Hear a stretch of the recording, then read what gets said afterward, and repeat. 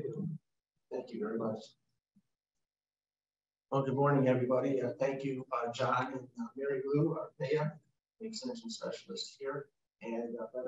We're lucky to be here to talk to you because it's nice to uh, actually be involved and hear some of the issues that are involved with the avocado industry. Obviously, um, I'm involved with production agriculture. I, I, I hear that some of the strategies that might help the avocado industries to um, help in production and increase yields. And so this is where we're coming from. Um, I'm a research professor at the university. And so we look at it back and try to come up with new strategies. We see that phosphites were introduced in Ridomil, the metal, uh, mefenoxam, Ridomil gold, and uh, metalaxyl. These were introduced in the 1980s.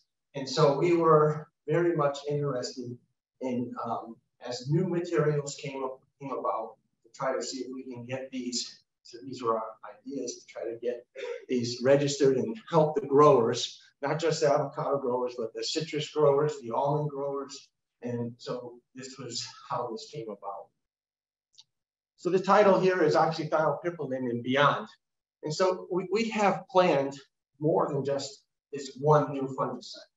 But this is, we started with this one because it's such a remarkable fungicide. So we're trying to improve the management of Phytophthora root rot of avocado with new highly effective fungicides. And this is the first of a series that will be introduced.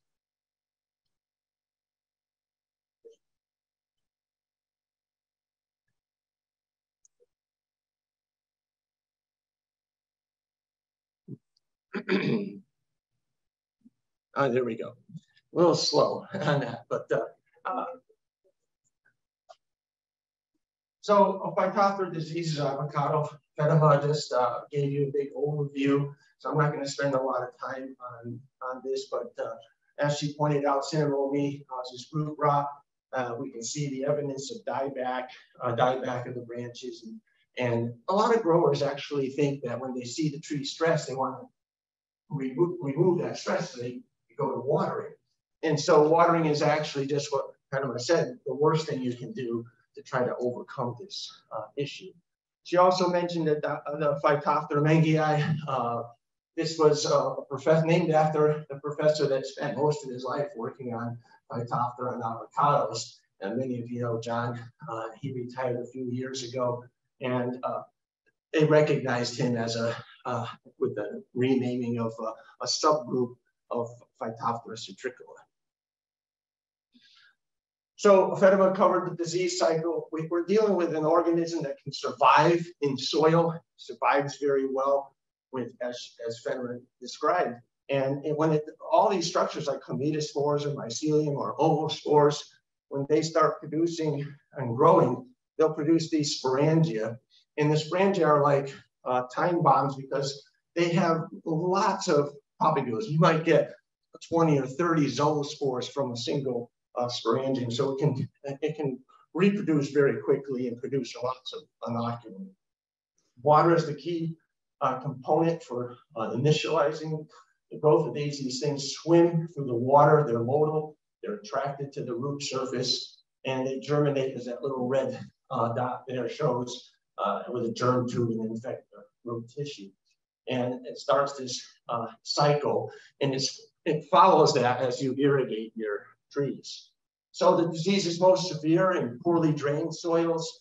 Um, Fatima also covered some of this, but the disease is optimal at 24, uh, 75 degrees, which is ideal San Diego uh, temperature. And uh, it, but it can grow from a range of 55 to 90 degrees Fahrenheit. So Fatima also covered some of the, quickly here, just some of the prevention mechanisms. We have certified disease-free stock plant, tolerant rootstocks, irrigate carefully, uh, mulch around the tree, especially around the, up to the drip line, as illustrated uh, in, in, the previous talk, and then plant trees on berms, and uh, don't, you know, water and soil movement can spread the diseases as well. So as I mentioned, since the 1980s, we have we've had phosphite and mefenoxam And many of the nurseries used mefenoxam extensively and resistance developed. And with phosphites, uh, many of the growers use this and they were told that there would never be phosphite resistance. And uh, that's kind of a, a, true statement. It's very resilient to resistance. But what we see though is that with any chemical or any fungicide, if we use that one material exclusively, we're going to get resistance showing.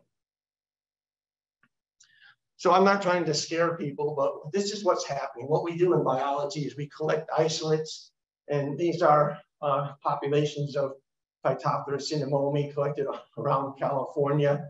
And what we see are these uh, bimodal curves, and we don't like to see them. We like to see just this one uh, curve, normalized curve of on the left here. That's the sensitive population.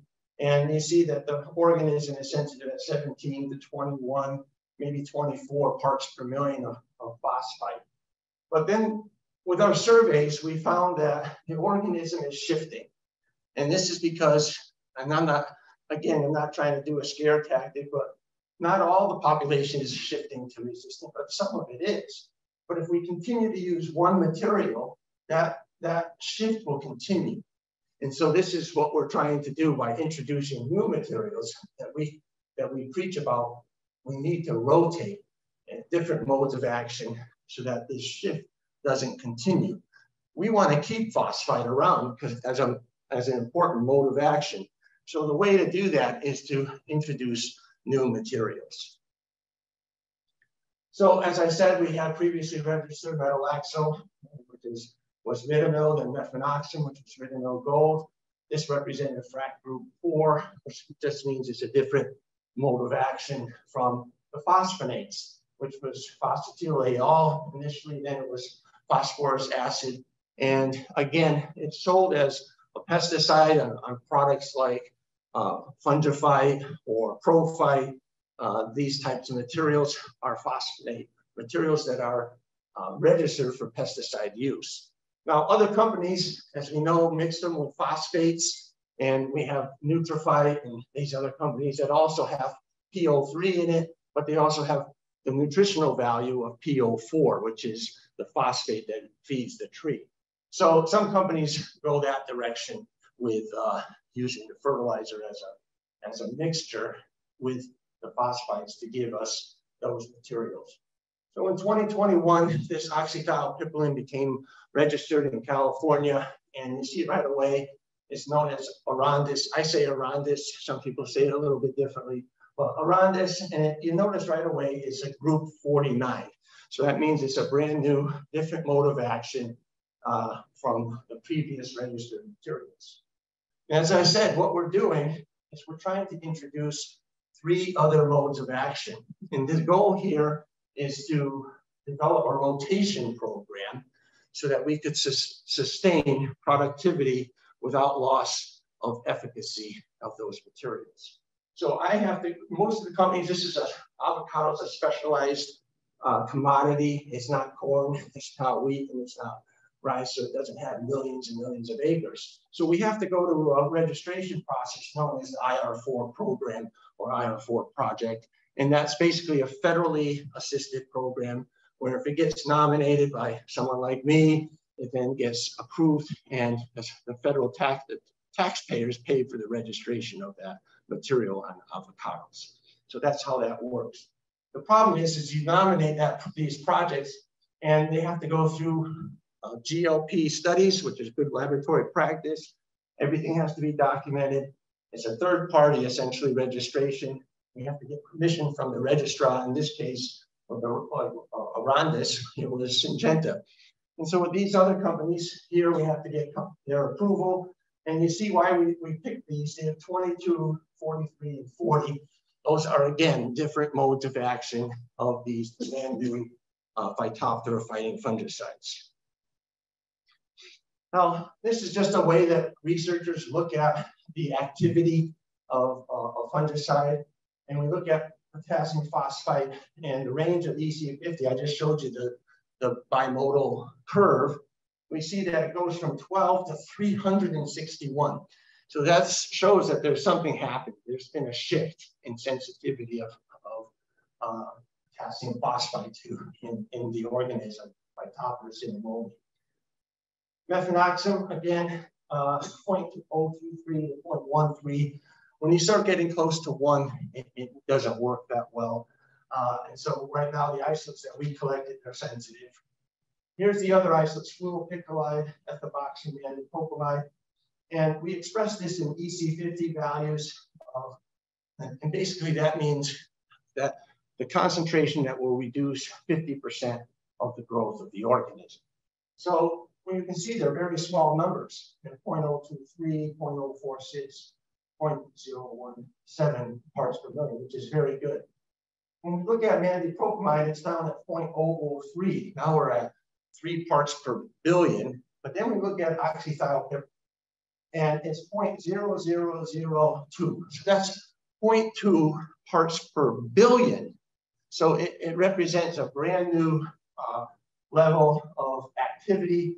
And I've been testing fungicides for many, many years. And this is the most active material we ever evaluated. So I wrote that on the side. It has the lowest EC50 in fractions of parts per billion with a, a, a mean value against Phytophthora cinnamomi at 0.0004, which is four tenths of a part per billion inhibiting the growth. So it has this high intrinsic activity. And what that means is that we can use really low rates and, and get very good results. So it becomes very affordable for growers to use this. And it's, it's not as cheap as, gonna, as phosphite materials, but it's close to that. So that's what we're indicating. So the Arondis label looks like this, and uh, you'll see it has a group 49, that's the FRAC code, just to make sure that information is gets into the grower's hands. The rate is 4.8 to 9.6 fluid ounces per acre. And the 4.8 fluid ounces, we'll see some results with that. We think that's a, a, a very effective rate. Uh, obviously, if there's really high disease and you need to clean it up, Syngenta wanted to go to higher rates, but the 4.6 uh, ounce rate works really well. The nice thing about it, it can be applied through the uh, drip irrigation, so it's chemigated, and there's no need to spray it on the, on the tree. So that's a very affordable way to apply it. And we're gonna see that, I'm gonna show you some evidence that it's taken up by the roots and it's translocated acropetally through the stem up into the tree, which will give us our protection for the cankers, uh, canker diseases as well. Syngenta has this uh, explanation for resets and new plantings, one application at planting, and 30 days later with root growth. So the key timing for managing uh, root diseases is at this, these root growth flushes. And in most tree crops, that's the spring and the fall. So this is what we're talking about, developing programs where we could put this on in the spring, and then these materials like Arondis go get uptake through the root system into the tree, and they last there for several months. And so this gives you your protection for over the, if you do it in the spring, it's gonna protect over the summer. You do it in the fall, it does it, protects into the winter. So that, that's the uh, strategy. They wanna have two sequential applications per year. Uh, obviously, we wanna develop rotation programs and if what we're ideally what we're shooting for is to get one application of each mode of action when they become available so that we can rotate over a two-year period between multiple modes of action. It has a restricted entry of four hours, so it's pretty, pretty safe. And the pre-harvest interval is uh, just a day. Okay, so currently registered is Revus. Revus is registered for citrus nurseries and we were able to register it as a foliar treatment for Phytophthora brown rot of the fruit. Uh, it's pending registration on, uh, for nursery use in all tree crops. So the idea is that the nurseries now can use Revus, a brand new mode of action. There's no known resistance to it. And then uh, if you talk to the nursery, they use that. And then when you go to plant the tree, you use the Arondis. So automatically you're not overusing. You can rotate between the different modes of action. So that's Revus, and you see it's a different mode of action. It's group 40, And that means it's mandipropamid, and that's the uh, fungicide specific active ingredient.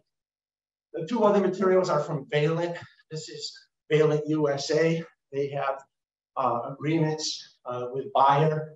They sell this Presidio, which is fluopicolide. It's currently registered on citrus as a soil treatment, and we're registering it through IR4, as I mentioned, for, for the avocado industry. And then this other material, ethaboxam, group 22, is currently registered on vegetable crops. And why I'm mentioning this is that these other crops are really fairly safe materials because they're spraying these and both a foliar and ground treatment. So, you know, they're, they can be uh, consumed by consumers after washing and cleaning them, and they're very, very safe materials.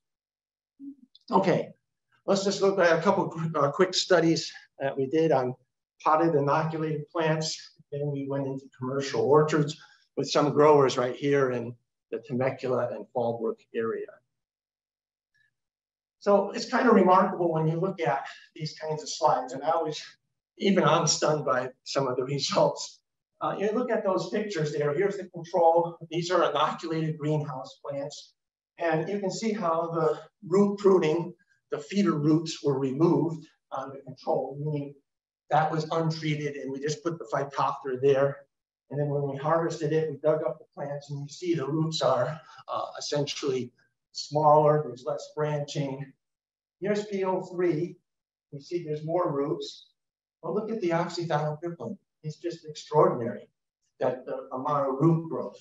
So this is a, a remarkable fungicide that we use, works at very low uh, levels. We see we made comparisons here. All the fungicides are working very good.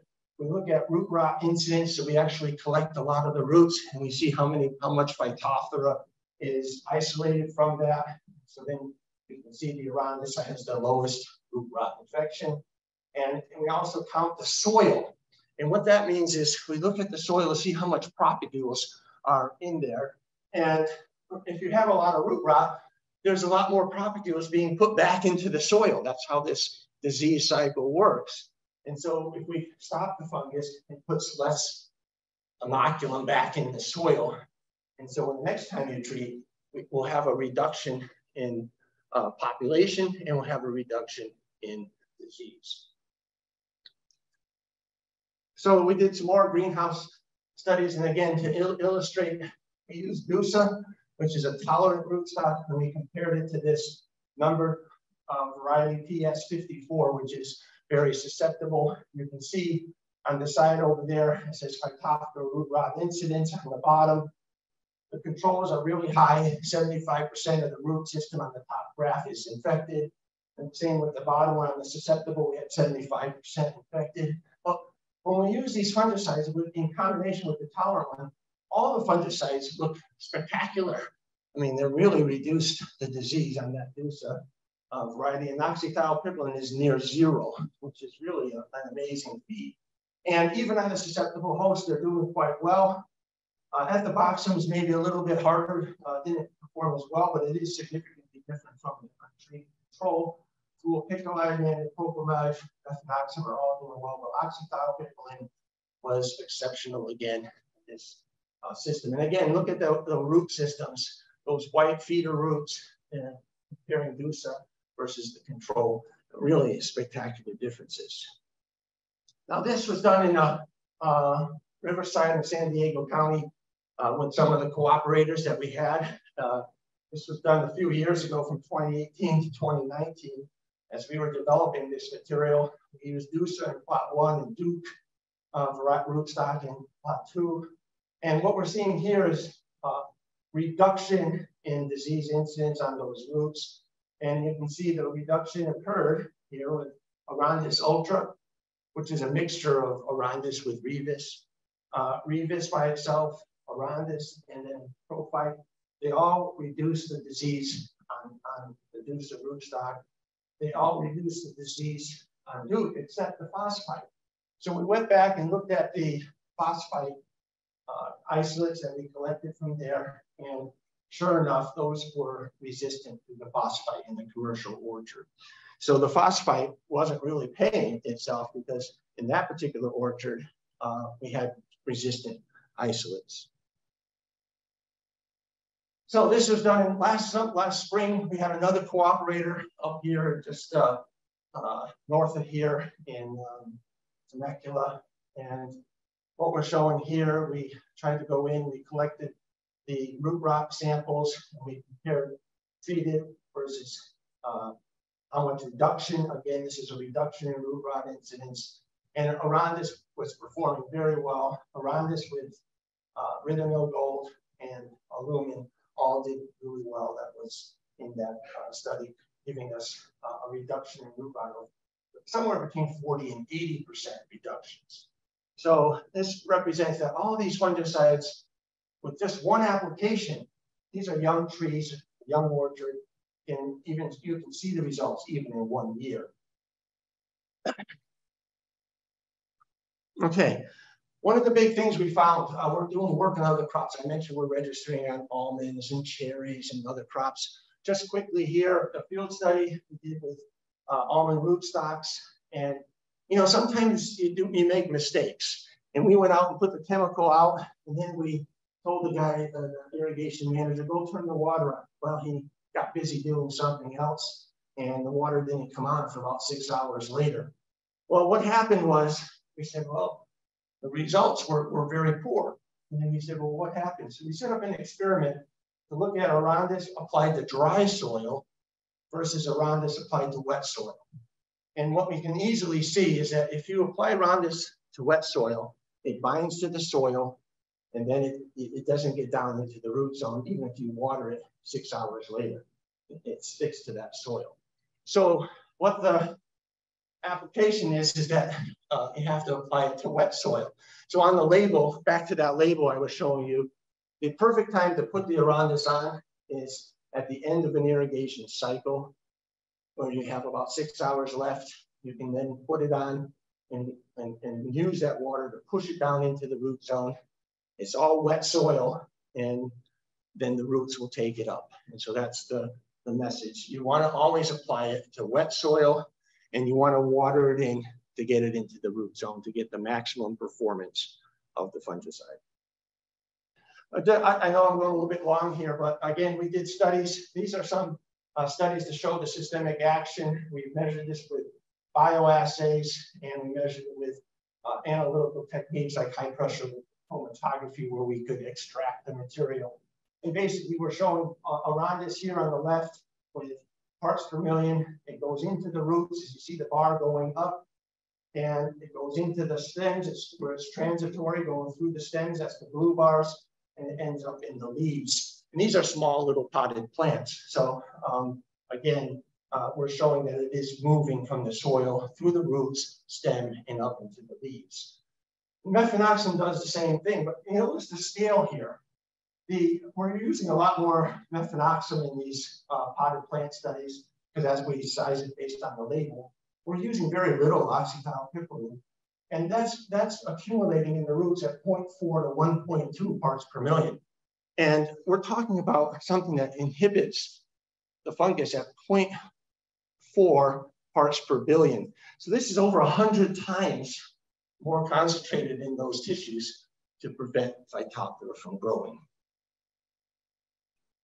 Lastly, we did some studies here again on almond and cherry. We treat the soil and then we wait a couple weeks, and then we inoculate the stems. Here's what happens to a inoculated stem with Phytophthora. You can see all that brown discoloration. Then where we treated it with a Arondis, again, where we made a very severe injury, I put a plug in there of Phytophthora. It didn't move out of that. So that shows us visually that the Phytophthora is inhibited and it's in, that chemical is in the stem as it moved up. And these are just from soil uh, applications. So it should work for uh, both Phytophthora mengei and Phytophthora cinnamomi. Okay, so the whole goal of these, I showed you these practices. The whole goal is to get less infection when you use certified disease-free nursery stock. You water properly, you're, you're uh, making sure the environment isn't conducive for multiple infections. Planting on berms, the water is going to drain away faster. And again, that allows for a less conducive environment for. Organic mulches, as Fatima said, there's lots of competition with that, but it also, you also see root escape. Roots will grow up into that mulch. The Phytophthora stays down in the soil. So this is another reason why to mulch. Prevent soil water movement, obviously, and again, uh, provide good tree nutrition, and, that was covered as well. And then we have fungicides, and we always say we have to rotate, but if you only have phosphite or mefenoxam, you can't really rotate that uh, well. So this acronym was developed for uh, through my career. We say follow the rules. And the R stands for rotating between different modes of action. Phosphite or Rondis, they have different modes of action. The Presidio Elumin are pending. They'll have different modes of action. And if we can get nurseries to use Revus, we have a system now where we can have all different types of modes of action that can, can totally confuse Phytophthora and prevent the selection for resistance. Use labeled rates. Uh, never want to overuse these things that could select for resistance. Uh, limit the total number of sprays. This is on the label. You want to put no more than two, ideally one. Uh, Syngenta says no more than two, but I say ideally when we get all these four, we, we can go to one per year. Uh, educate yourself on the modes of action. I'm emphasizing these frac groups, and then I'm talking about potential mixtures. This is also a strategy. We're testing Presidio Elumin mixtures right now. And so starting a, a, program with a mixture of different modes of action might be the best strategy to prevent selection of resistance. So what I did is to show you the quick results here. So we started the nursery. We used Revus, uh, phosphites, or mefenoxam. Those are registered. The grower, and the nursery can tell you what he last treated. And then when you plant the tree, according to the Arondis label, you could put it in at, at reset, the Arondis, and then uh, 30 days later, treat again with Arondis. And we can rotate. When the trees get a little bit older, in the spring here, we can rotate into the, uh, during the summer or fall, another mode of action. Or you could, technically, you could use Arondis there as a uh, no more than two applications per year. So I came up with these different uh, combinations of different programs. So the top one was what we just described, around Arondis planting, and 30 days later, which is the spring. And then we have a phosphite in the fall. In year two, we, we hope to have Elumin and then, and then Presidio, and that represents a four rotation program. Uh, program two, again, we're mixtures with Elumin Presidio, and we're testing that right now. And then with the program three here, we're looking at mixture rotations of different products. Okay, thank you very much. For, it's just there's a lot of people involved. Uh, these were the growers, Nick Pinch, Pat Nelson, and Andrea and John Baxter that gave loaned us their orchards to do some of this work. Um, we had uh, Patty Manosalva was a collaborator on some of this research, and so she's uh, uh, a lot of the breeding work uh, at, avocado rootstocks. Uh, we have my lab team here. Uh, thanks to Syngenta uh, crop protection, Valent USA, the IR4 program, Jerry Baron, the uh, director. And then we got funding to support this research through SCRI, which is a federal funding program, a grant that Patty uh, Silva spearheaded, the IR4 project, and agrochemical industries, which gave us the materials. So uh, I just really want to say, you know, as a team, we have to have support from the avocado industry as well. And so, you know, it's you have we put at the university we put a lot of people together, and you know we know that the industry is having a hard time with some issues. Uh, the grower Andrea told me her water bill, and I almost uh, fell off my chair when she told me her water bill last year. And uh, it's not a hundred dollars; it's it's thousands of dollars, and you guys know that. So I, I hear your pain, you know, talking about the cost of water and the cost of electricity. Uh, something has to be done for growers, and we uh, support growers. And so these are issues that are bigger than what my role is with the university, but we understand what you're going through. And we're, we're, we're saying though that if we had a little bit of help also from the industry through CAC, you know, we could put teams together and there's a lot more work that can be done with these new fungicides and and usage. And so I'm making a little bit of a plug here, but uh, the industry has to recognize that nothing's free. And we, we are doing our best to use federal money uh, through IR4, through these grants, and trying to get the chemical companies to supply us with uh, tools as well. So thank you very much.